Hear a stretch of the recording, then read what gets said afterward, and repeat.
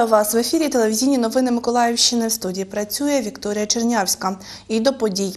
18 липня о 14.27 на автодорозі Ульянівка-Миколаїв поблизу поворота на село Новоодеського району сталося зіткнення мікроавтобусу Мерседес-Бенц Спрінтер та вантажівки МАН.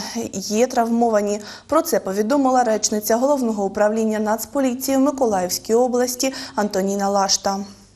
Наслідок автопригоди тілесні ушкодження отримав 29-річний водій е, мікроавтобусу, якого було госпіталізовано до медичного закладу. Е, Правоохоронцями розпочато кримінальне провадження за ознаками частини 1 статті 286 Кримінального кодексу України порушення правил безпеки дорожнього руху. Санкція статті передбачає е, від накладення штрафу до обмеження волі сроком до трьох років. Наразі проводиться перевірка, встановлюються всі обставини події. У Миколаєві нагородили чоловіка, який на воді врятував хлопчика. Подяки та подарунки вручало керівництво підприємства, на якому працює рятівник, та співробітники головного управління Державної служби України з надзвичайних ситуацій в Миколаївській області. Усього колективу хочу вам подякувати за вам героїчний за врятоване дитяче життя. І Сергій Леонідович, е, якщо побільше було таких чоловіків, які наважуються на такі вчинки, то більше таких новин гарних, цікавих і позитивних висвітлювали служба порятунку. І щиро лише серця прийміть від нас подяку. Одна из этих женщин начала кричать. Одна з жінок почала кричати, що хлопчика зносить на матраці просто у море. Миттєво спрацювала якась реакція. Просто кинувся у воду, потім його б ще далі занесло. Доплив, ухопив за матрац. Одне прохання лише було, щоб тільки з матрацу не стрибав, оскільки потопаючого важче рятувати, ніж людину на матраці. Потім курсували до берега, витягнув на берег. Дитина, звісно, сильно злякалась. Головне батьків попереджувати. Якщо ви приїхали з дитиною, за нею треба хоча б наглядати. Не вміє плавати, так нічого її на матрац садити. Навіть на цих матрацах написано, що вони мають властивість upливати. Ось так і вийшло цього разу. матрас так написано, что матрас имеет свойство уплывать.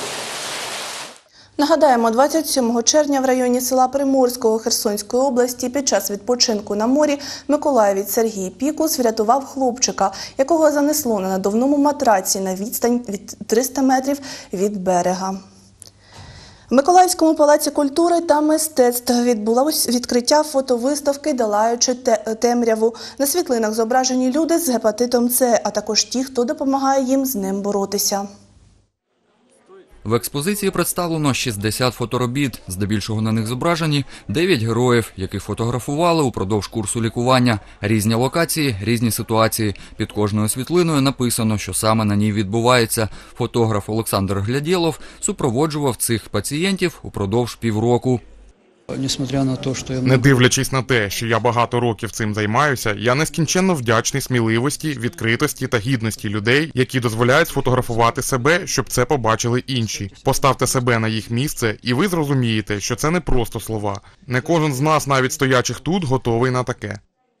Фотопроект Долаючи темряву організувала міжнародна гуманітарна організація Лікарі без кордонів. Основна мета привернути увагу громадськості до проблем людей з діагнозом гепатит С. В нашій організації є два загальних принципи. Перший це надання медичної допомоги населенню. Другий це підняття на публіку проблем, свідками яких ми стаємо. Ми проводимо багато проєктів, які пов'язані з лікуванням гепатиту С, туберкульозу, малярії. Ми застосовуємо стратегії комунікації та адвокації для цього. Ми співпрацюємо з медіа, і наш принцип привернення уваги до проблем населення серед громадськості.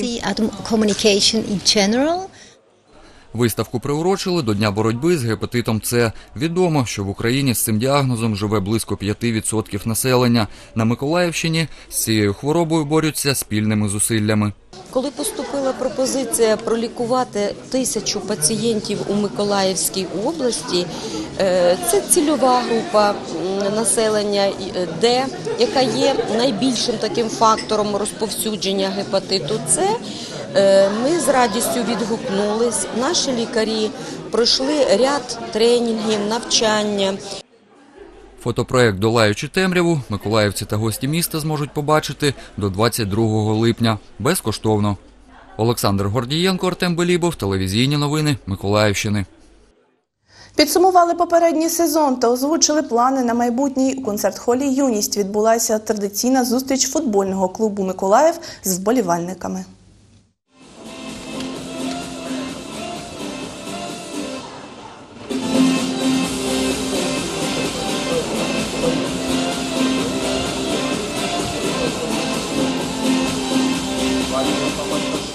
У сезоні, що минув, корабели посіли 10-ту позицію. Головний тренер команди Руслан Забранський каже, могли фінішувати краще, але команді не вистачило кадрового потенціалу, через що втрачалися очки. Вторым кругом доволен, Другим колом задоволений, тому що ми йшли у першій трійці за набраними очками по другому якби півріччю чемпіонату. Так, наприкінці трохи нам не вистачило рівноцінної заміни, тому що ті 11 чоловік, які тягнули весь чемпіонат, десь наприкінці втомилися. Потрібні були заміни, а їх рівноцінних не було. Тому десь ми в кінці трохи не дограли. Вдома з Балканами треба було вигравати, та й у Краматорську, в принципі, можна було поборотися. Попечителя клубу Сергія Кантора на зустрічі не було. Задачі на наступний сезон він озвучив у відеозверненні до вболівальників. Перед э, главным тренером Перед головним тренером я поставив задачу. Ми в цьому сезоні повинні мати не нижче п'ятого місця. Ось. П'яте, у гіршому випадку, не нижче шостого. Інакше ця ідея, яка взагалі-то зараз реалізовується, і ті ресурси, які, так скажемо, необхідні для цього, і я займаюся цими ресурсами, тоді це все виконатий час і виконаті гроші. ну, у меня не выбора. Ну, якби у мене не залишається вибору. Задача є задача. У принципі, на сьогоднішній момент, якби на нашу тренерську думку, команда, яка зараз знаходиться на сцені, вона сильніша, ніж та, що була навесні. А навесні, у весінній період, ми набрали очок. Ну, увійшли до трійки команд найкращих команд чемпіонату саме по весінньому періоду. Йшли якби на першому, потім перемістилися на друге, по кінцівці на третє. Тому я вважаю, що ця команда при цьому підборі футболістів реально може це зробити. Цього міжсезоння склад команди змінився.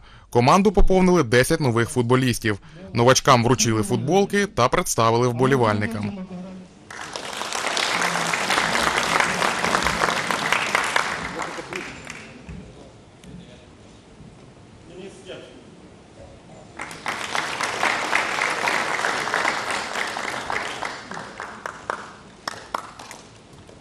У другої команди МФК Миколаїв задачі на сезон дещо інші.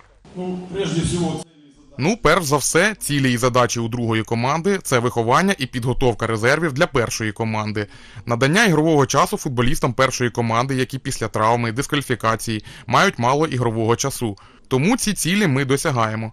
Сезон 2018-2019 розпочнеться для команди Руслана Забранського 21 липня. На центральному міському стадіоні корабели прийматимуть київську оболонь Бровар. Володимир Степанов, Ігор Чорний, телевізійні новини Миколаївщини. Поки що це все. Більше новин дивіться у наступному випуску о 17.00. На вас чекатиме Наталя Забазнова. Приємного вам дня!